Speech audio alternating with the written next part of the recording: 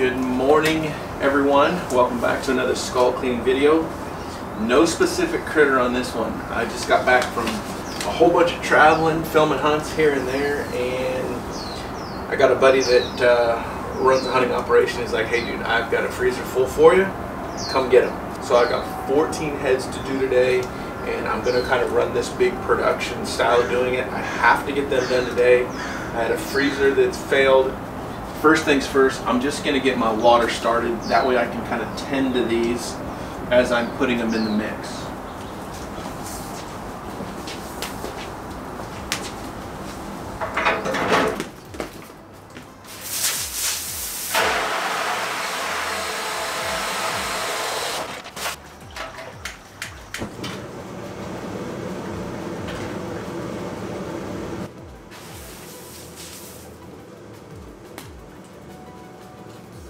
Hi, welcome back, y'all. Hey, I am trying to do a better job of just filming what happens on the day to day. I've got this thing in my head where it has to be this perfect video, and so many of you comment saying, hey, if you put it up, we'll watch it. So, this is what's going on today. This crazy pile of sheep and goats and pigs I got to get done. So, today we're to start with an Angora goat. I've got three of them. I'm just going to skin them. Rule number one, you all know it if you've been here before. If not, that rule is remove all the meat and tissue before you boil. I put these little locking tags on their horns.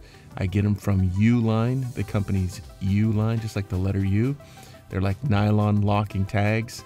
I love them. They help me separate one from the other. And with horned animals, I just drop them right down into clear water and bring them to a boil. My goal is to knock those horns off, cut the cores, and get them ready for a big old power wash.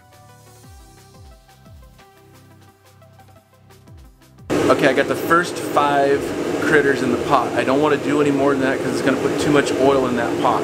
It's just the nature of it. So I'm going to do them five at a time.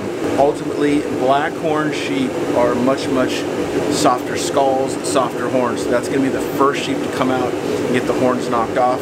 Then I'll pull the rest out, get them washed, and we're good to go. A real quick side note, something I do quite often is when you get that boil going and you get that foamy goo that's brain and fats, I'll take a garden hose and just whoosh, just blow that stuff off the top of the boil because it's on the pot and then I pull the skulls out one by one. I don't know if it helps. I just like it not being on there and getting around the horns. Step two on sheep and goats, take a sand hammer and thump them horns off.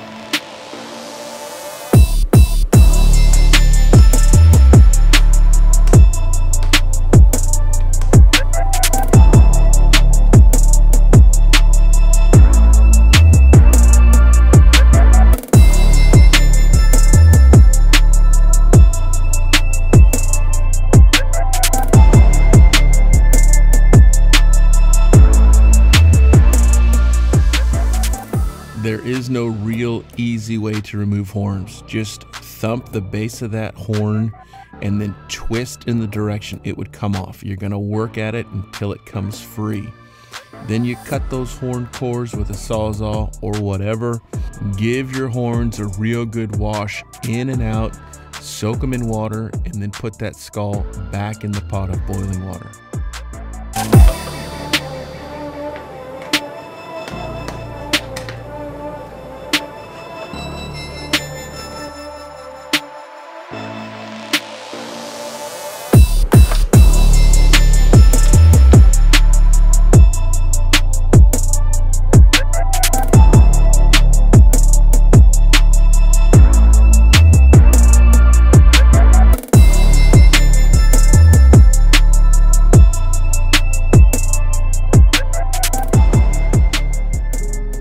That's more work than it appears. The next step, we're going to take a power washer and we're going to wash into every hole and every orifice in this skull. Anywhere there's meat or tissue, we're going to make it go away. Let's do some washing.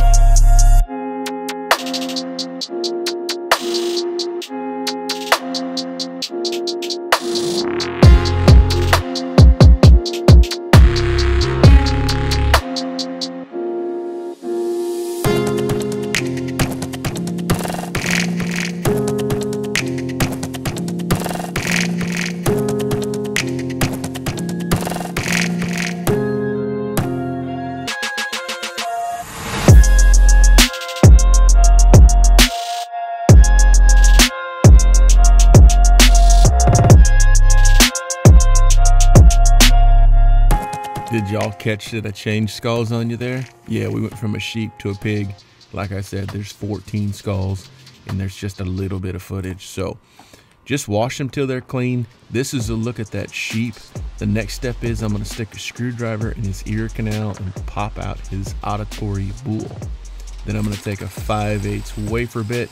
I'm gonna wallow out that hole nice and clean. And then I'm gonna get ready for the color batch.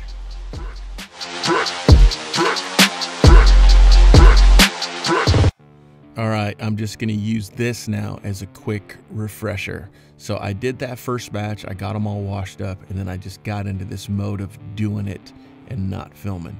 Classic me. So here's a real fast look at getting the pot prepared on the next batch.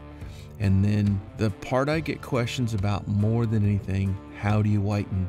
It's literally in every video, and I know that sometimes we get different nationalities and languages, it's hard to comprehend. So I've written it in the description, but ultimately I'm mixing hydrogen peroxide and water. You can get your peroxide through Beauty Developer or Pool Supplies, it doesn't matter. I like to just dilute that peroxide some. The mix itself depends on the strength of the product the age of the animal. It's very complicated to explain. So just mix some peroxide with some water. Start with 70% water, 30% peroxide. Just start there as a general rule. Then, with the skull in the pot, bring it to a boil and turn off the heat. That's going to whiten and degrease that skull beautifully. Then pull it out of the pot, wash off any loose extra debris any piece of skin or whatever, put it back in the peroxide to make sure all the chemical hits that bone, and then pull it out and let it dry. All right, here's the pro tip from a guy that's not completely a pro yet. If it's a hot day and you've done this many skulls, you get so much odor and fats and stink, you're gonna find some flies. I put those skulls in front of a fan to dry and then I will literally just give a big O spray of bug spray of some sort. And man, it will kill those flies and keep them off and not hurt anything about those skulls. Just give them a spray, get those flies gone. You don't want them laying in a wet horn core or some little area in that skull. Spray them. Okay, so yesterday I told you I was going to do three batches. Um, they weren't super oily, so I wound up doing two batches of seven. There's 14 skulls here. Apparently there's skulls on my face. Uh, and I think a lot of people wonder how in the world do you know what goes with what? Every animal is unique and they go together like a ring and pinion. It's an automotive term. They only go together one way. So I started dry fitting and then forgot to record. So here's where I'm at. Everything that was facing this way was the first batch. Everything that's facing that way is the second batch. And I kept the horns separate. These three heads all have different diameter bases. Anyway, first things first, I will dry fit these and then put them all together, but I'm going to blow out every single one of these to make sure I don't have any gnats, moisture, whatever. It's real easy to get them in there. You'll notice now that I don't let anything dry that's not in front of a fan. Nothing. When I was when I took them off and I couldn't deal with them right then, they were all underwater. I don't want there to be any way for any critter to get in these things. Soak them or put air on it. Most critters don't like air.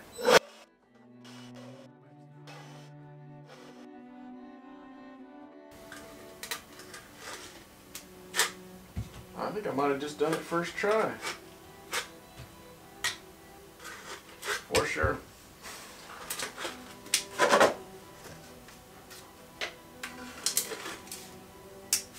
See how well it fits together? There's no forcing.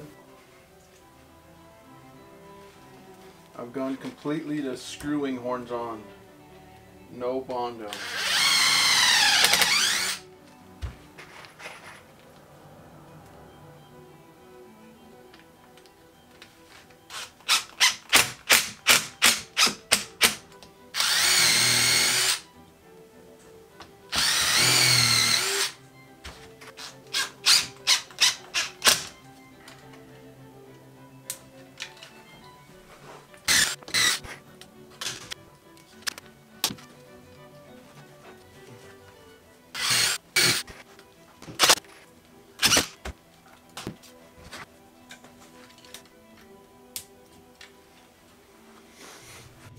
Now, I know some of this may seem contradictory to what you've seen in the past. Small modifications.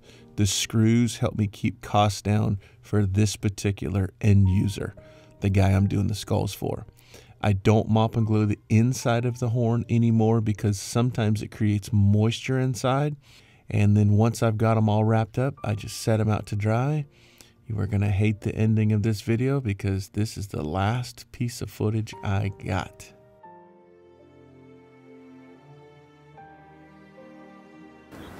Y'all, I delivered all of those skulls and just didn't close the video because I'm notorious for that. So I did have an Angora just sitting around just to show you how cool this little critter is. Uh, it's small in comparison to those other ones, but I wanted to be able to at least close the video. We're going to do it with Mr. Beaks. Hey. It's been forever since everybody's got to say hello.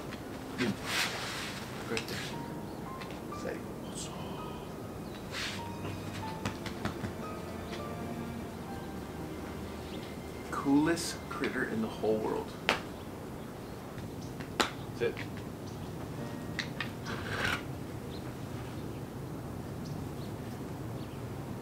Hold it like this. What do you think? Look good? Thank you for watching.